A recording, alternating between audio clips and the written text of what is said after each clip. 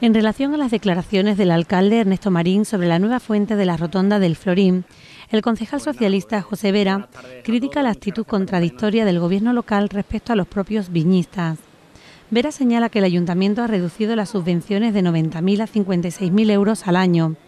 Y todo ello con el agravante de que se debe aún las subvenciones de los años 2012, 2013 y 2014,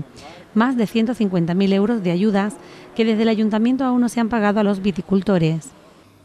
Por tanto, eh, si de verdad el señor Marín quiere fomentar el mundo del vino en Chiclana,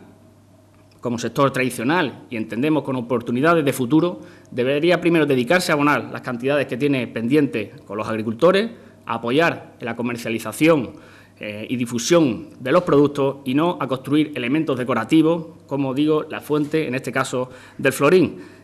Vera asegura que están cansados de ver cómo prevalece lo nimio frente a lo importante, como fuentes dedicadas al vino sin que se paguen las ayudas a los viñistas, o problemas de infraestructuras en barriadas y extrarradio.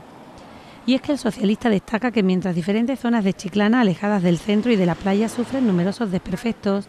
el alcalde da prioridad a hacer fuentes como si de una actuación urgente y necesaria se tratara. El edil del PSOE cree que por desgracia los chiclaneros se están acostumbrando a ver cómo gran parte de la ciudad se encuentra prácticamente abandonada.